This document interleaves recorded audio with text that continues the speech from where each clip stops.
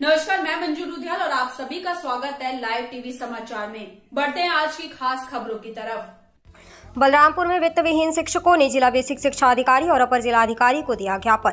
बढ़ती कोरोना महामारी के बीच जहाँ सरकार ने सभी विद्यालयों को बंद करने का निर्देश जारी किया है तो वहीं पिछले वर्ष की अपेक्षा इस साल निजी विद्यालय भी अधिक समय तक खोले गए हैं। किंतु अब इस कोरोना काल में पुनः विद्यालयों पर अवकाश रूपी खतरा मंडराने लगा है, जिसको लेकर अब निजी विद्यालय के संचालक सरकार से अपनी गुहार लगाने में जुट गए हैं। इसी को लेकर बलरामपुर में वित्त विहीन विद्यालय प्रबंधक संघ के बैनर तले निजी विद्यालय के प्रबंधकों ने राज्यपाल को संबोधित अपर जिला अधिकारी और जिला बेसिक शिक्षा अधिकारी को एक ज्ञापन दिया है, जिसमें निजी विद्यालय के प्रबंधकों ने मांग की है कि सरकार किसी भी कीमत पर तेईस जनवरी के बाद विद्यालयों को बंद न करे। विद्यालय बंद होने से जहाँ विद्यार्थियों का क्षति होता है तो वहीं विद्यालय में कार्यरत शिक्षकों के ऊपर रोजी रोटी की भी भारी समस्या खड़ी होती है।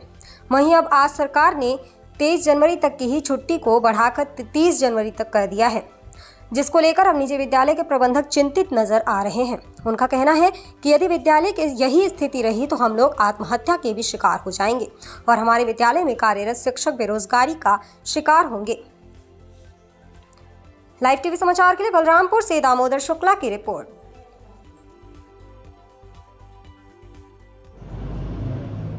हम लोगों की समस्याएँ ये हैं सर कि जैसा कि शासन से हम लोगों को निर्देश दिया गया है कि 23 जनवरी तक हम लोग विद्यालय बंद रखें। हम लोग उसका अक्षरशः पालन कर रहे हैं। लेकिन आगे निवेदन ये है कि इसके बाद हम लोगों के विद्यालय को 24 से खोलने की अनुमति दी जाए, जैसा कि अन्य प्रदेश में दिया जा चुका है। अन्यथा हम लोगों के जो कर्मचारी हैं, शिक्षक हैं, वो भूखमरी के कगार पर पहले से ही हैं और यदि छुट्टी और बढ़ गया तो बहुत समस्या उत्पन्न हो जाएगी।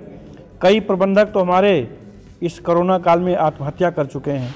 उनके परिवार आज सड़क पर आ चुके हैं। इसलिए हम लोग चाहते हैं कि जिस प्रकार से मार्केट में सिनेमा हॉल खुला हुआ है रोडवेज़ बसें चल रही हैं, माल खुला हुआ है, शराब की दुकानें खुली हुई हैं अन्य पूरा मैंने विद्यालय को छोड़कर बाकी लगभग सब कोरोना प्रोटोकॉल का पालन करते हुए सब खोला गया है। ऐसे ही हम लोगों को भी कोरोना प्रोटोकॉल का पालन करते हुए विद्यालय को आगे खोलने की अनुमति दी जाए। हम लोग जो भी सरकार का गाइडलाइन होगा, उसका अक्षरशः पालन करेंगे।